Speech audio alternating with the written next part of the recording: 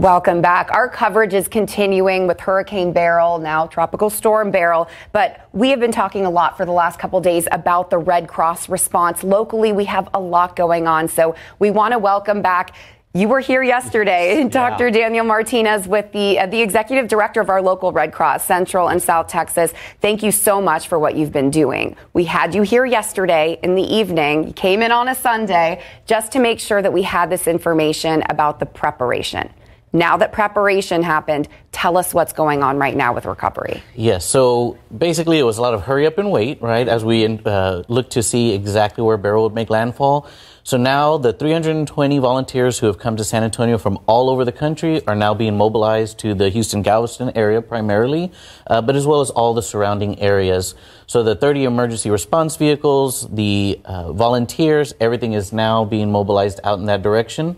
So for the safety of our volunteers and shelter workers, we wait until uh, any danger has passed, and now everybody's getting sent to that area to open the shelters and to begin uh, supporting the needs of that area. And I know just, you know, what, 10 minutes ago, you were on the latest update from people who are on the ground in some of these areas affected by Beryl. What are they seeing?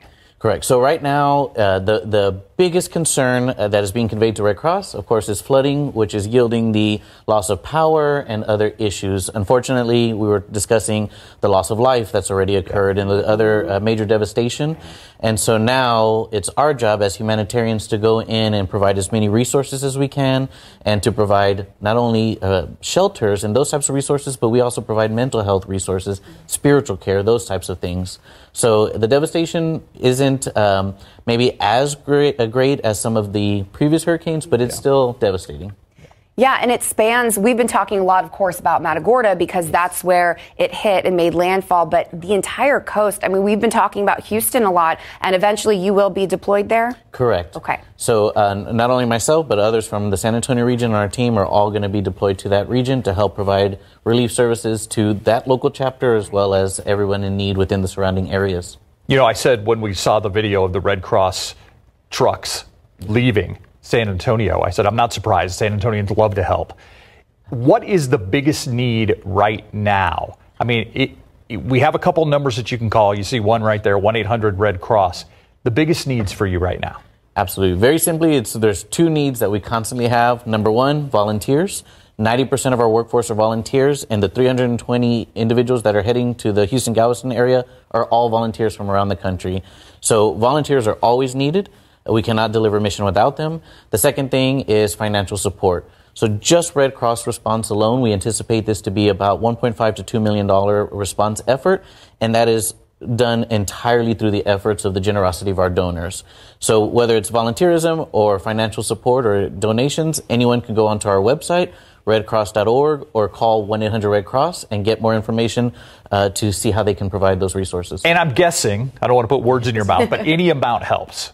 Every amount helps. So whether it's $1 or a million dollars, everything is far reaching because it all gets applied directly towards the humanitarian aid that we're providing. And you talked about volunteers. We've done multiple stories here at KSAT looking at those trainings. A lot of people out there might think, oh, this is too much for me to handle or I won't be able to help anyone can help volunteer. There are lots of jobs for people. It's not just deployment. Correct. Anything. So today, for example, we had individuals who are volunteering at the local office, just helping with cleaning, helping provide snacks, helping to load trailers. So if it's just, hey, you know, I get a really stressful job and I want to go just provide some mindless work to help, great. If you have a specialty and a certification, as I mentioned, uh, licensed professional counselors can come and help to provide mental health services. So if uh, you want just to provide your, yourself and say, hey, I'm here, what can I do? That's great. If you have a specialty, special training, and want to lend those services as well, we gladly accept those too. You know, you said flooding is what you're hearing yes. is that the biggest damage that's being done so far and where your volunteers are. This is not a one day thing for you, though. I mean, you're going to be there for weeks. What kind of damage, what kind of effects do you expect in the days and weeks to come? Right. So a lot of what we're going to be doing, especially as we look at how we open our shelters, there are different types of shelters that we open, mm-hmm. but because the flooding has caused so much power outage, a lot of what we're going to provide are resources for charging your cell phones, communicating with loved ones, um, and then we provide comfort kits, which include uh, cleaning supplies, so that if your home did yeah. experience any kind of flooding or damage, you can utilize the kits from the Red Cross to get those um, to get yourself started with the process of recovery. Um, and it could be any number of resources depending on what the family or individual needs.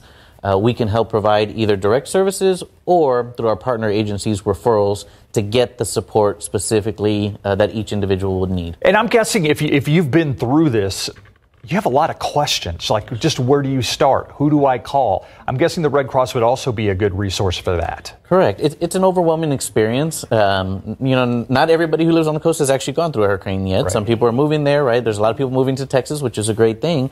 And it's overwhelming if you don't know so one of the things that is so great about the red cross is we always find a way to yes so that means usually we're going to provide the service or the resource but if we can't, we're going to be the partner agency that helps each individual find the resources and uh, agencies that they need to begin that process of recovering and really healing and moving forward from this event. And quickly, something you mentioned yesterday, super helpful because we are still in the immediate aftermath. Tell us about the app it works when you don't have service. Hopefully, people have downloaded it already, but it is available. Absolutely. So, the Red Cross app is truly amazing because it's easy to download. You can use it without internet service. It's constantly being updated, but it has resources where current um, shelters are open, current resources for individuals impacted, how you can get involved if you want to volunteer, how you can donate. And I mentioned yesterday, even things like pet CPR and those types of things, right? Things we don't think about necessarily while we're dealing with this. It's all available on the app. All right, so great to know. Thank you yes, so much. Thank yeah, you. Texans helping Texans. 1 800 Red Cross, redcross.org. Mm-hmm. Dr. Daniel Martinez, appreciate your time. Thank you. Appreciate you. And yeah. we'll keep in contact with them, especially as you deploy. Thank Thanks you. so much. Yeah, we're going to give you a key card because you come to KSAT so Come often. every day. Well, hey, I love being we'll here. we, we appreciate you. Yeah, yeah thank yeah. you. Thank you. Daily updates.